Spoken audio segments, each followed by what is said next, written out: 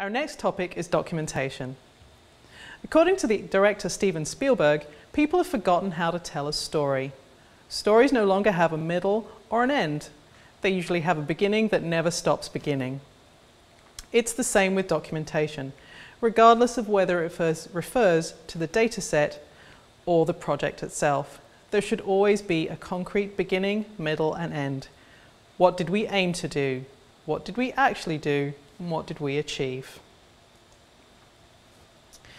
Documenting accuracy, precision and errors in data is essential if users are to be able to determine the quality of those data for their purposes. And good documentation should include a title, which should be descriptive, memorable and if possible unique.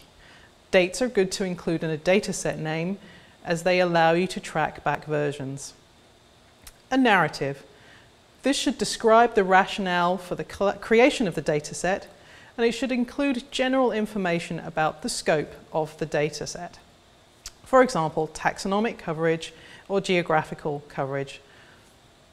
Source information is important. If you did not collect or measure the data yourself, who did? Where did you get it from? Lineage. Does the dataset have a history have any of the fields been transformed before you got the data? A statement of accuracy. Using the concepts we've discussed in the previous section, you should be able to document uncertainty, errors, accuracy and precision for your data and that will allow the user to know exactly what they can and cannot do with your dataset. Also, dates and life expectancy. When will it be available? How long will it be valid for? And when, if ever, will it be updated? You should also include definitions of fields and also whether each field has been transformed and what its format should be. You should tell the user about collection methodologies, if there are any, to avoid bias in further use. Were there protocols that were set and that have been used elsewhere? You should include, as far as possible, a statement of completeness. What is missing from your data and why is it missing?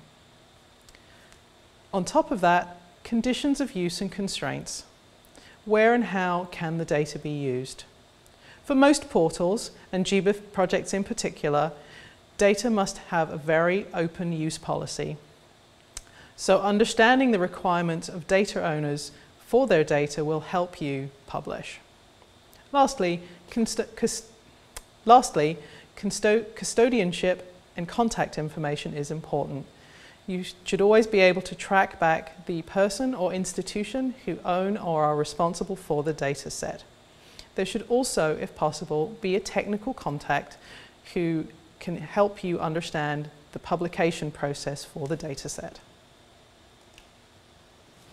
To be precise, what we're talking about is metadata. And metadata is data about the data, not the numbers or measurements themselves.